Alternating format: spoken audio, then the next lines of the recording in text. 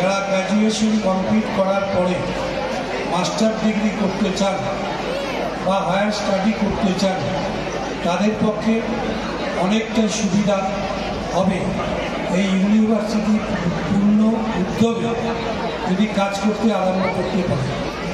যাই হোক, আজকে এই কলেজ আমাদের সকলের কাছে খুব গর্ব।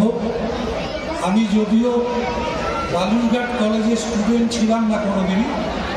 কিন্তু যেহেতু আমি জেলার এখানটায় মানুষ, তো স্বাভাবিকভাবে এখানটায় আমি এই কলেজে পড়াশোনা না করলেও এই কলেজের সঙ্গে বিভিন্নভাবে আমি যুক্ত ছিলাম। সব সময় একটা আগ্রহ আমাদের ছিলই। আমার সঙ্গে এই ডায়াসে বসে আছেন।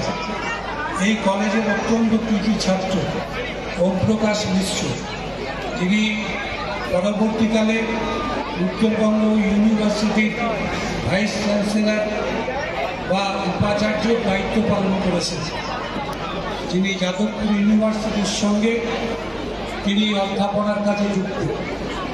আজকে তারা এখানটায় যখন কলেজে পড়তেন সেখানটায় আমি যদিও ওদের চাইতে উপরে পড়তাম, আমি কলকাতায় পড়তাম, কিন্তু যখন আমরা কলকাতা থেকে আসতাম, তখন অবশ্যই আমরা একবার করে আমাদের দেখা সাক্ষাৎ হতো।